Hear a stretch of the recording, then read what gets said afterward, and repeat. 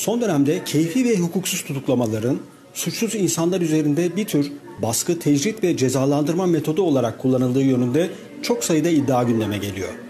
Bu konu Avrupa İnsan Hakları Mahkemesi ve Avrupa Birliği tarafından da sıkça gündeme getiriliyor ve Türkiye bu konuda eleştiriler alıyor. Ne yazık ki birkaç asılsız ihbar, birkaç yalancı gizli tanıkla masum insanların hayatını karartmak mümkün. Sayın Devlet Bahçeli de yargı sistemimizdeki gizli tanıklığın derhal kaldırılması yönünde görüş belirtmekte.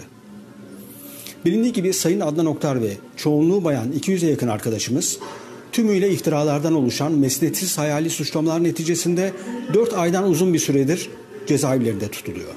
Bu insanların hayatları boyunca karıştıkları ne tek bir suç ne de sabıka kayıtları var. Hiçbir suçları olmadığı için yargıdan, adaletten kaçma gibi bir kişilikleri yok. Karartılacak aleyhlerinde delilleri de yok.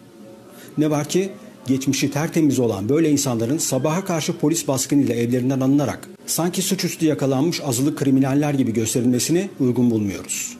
Gerçi bir şafak baskınıyla 120 ev ve iş yerine eş zamanlı baskın yapılması aslında bizim açımızdan büyük bir hayrada dönüşmüştür.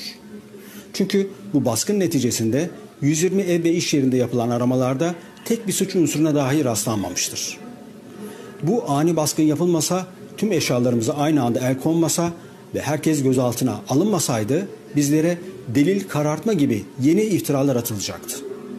Bununla birlikte gözaltına alınmamızdaki hukuksuzluklar, hep birlikte nedeni bilinmeden tutuklanmamız ve 5 aya yaklaşılmasına, ortada da hiçbir delil olmamasına rağmen hala bir iddianamenin yazılamıyor olması son derece endişe verici durumlardır. En başta FETÖ'cü çevreler tarafından adeta bir yargısız infaz aracı haline getirilen tutukluluk sistemine devletimizin ve hükümetimizin acil müdahalesi gerekiyor.